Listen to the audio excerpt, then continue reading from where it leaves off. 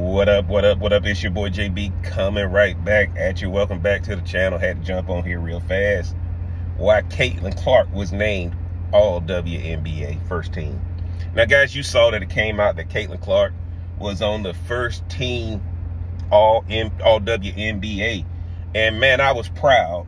And then my conspiracy thinking mindset kicked in. Why would they give Caitlin Clark All WNBA? But clearly they tried to make it about Angel Reese for Rookie of the Year. And they didn't even want to talk about her with MVP. But yet she's third in the voting for WNBA, I mean all WNBA team. I said, man, something fishy going on. So Jeff's conspiracy theory mindset kicks in. Now, y'all might not like it, but I got to go ahead and say it for the purposes of, of this channel. Again, this is just a theory. I'm not telling you this is the truth. But some of y'all gonna watch my video on the WNBA lockout, and that's what I'm tying this to. Okay. The WNBA realizes if they want to do a, a, a lockout, they need somebody on their team that they currently pushed away all season. And that one person that they not accept that they did not accept was Caitlin Clark. And if Caitlin Clark, if Caitlin Clark says she's against the WNBA lockout, that lockout has no leverage. It has no power. Nobody cared. The majority of those new customers they got that made them think their league is more successful than what it was was Caitlin Clark. So what do you do? You realize that we got to put her on the all WNBA team to pressure her into saying, look, you all WNBA, what is it going to do to your brand?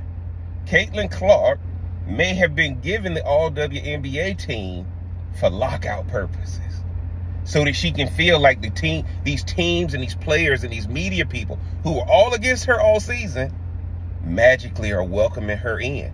Because if they don't her, they don't have her join this, it ain't gonna have no power. It's not gonna have any leverage. Now, think about it, guys. The Unrivaled League just announced their players. Caitlin Clark is not on it. Nobody from Indiana Fever is on it. TNT signed a media rights deal, but they also have an equity stake in it. They trying to get everybody but at the end of the day, Caitlin Clark, if she doesn't realize right now, she needs to be working with a set of private investors to spin off a league that can be built around her, that she can get an equity stake in. Because what the WNBA is trying to do to her, I believe, is completely manipulative. She is all NBA, all WNBA, third in voting behind, um, I'm sorry, guys, I'm, I'm having a blank with the Minnesota player and A'ja Wilson. Magically, she's third but she wasn't that high. She was fourth in the in the MVP voting. How does that work? Right? Angel Reese didn't make second team, but they told me the whole season that Angel Reese was neck and neck with Caitlin Clark. So, guys, something something sounds fishy about this WNBA, you know, all the WNBA first team. And I think they're trying to now rope Caitlin Clark in because if Caitlin Clark is not a part of any lockout, it's not going to have the leverage. The, the, the volume came because of her the influence came because of her. And y'all know the WNBA, all WNBA team is voted on through the end of the regular season. So how is she magically third in, in the voting? And it's because they wanted to announce this because they know that lockout is going to come. And if they can get Caitlin Clark being on the front lines, because guess what, guys? When the lockout in the NBA, if LeBron ain't signing on to it, it don't have no power. You need the best player because A'ja Wilson is good, but A'ja Wilson don't have no Caitlin Clark effect.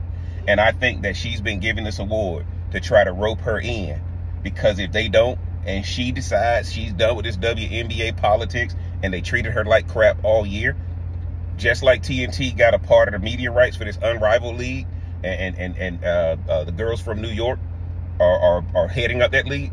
Caitlin Clark should get a bunch of investors to spin off from the WNBA and just get a whole nother league because this thing is about to get messy. And if the WNBA locks out and Caitlin Clark is not a part of it, WNBA may not ever come back because I don't think anybody's going to miss it. Everybody was tuning in for Caitlin Clark as far as where the increase came from.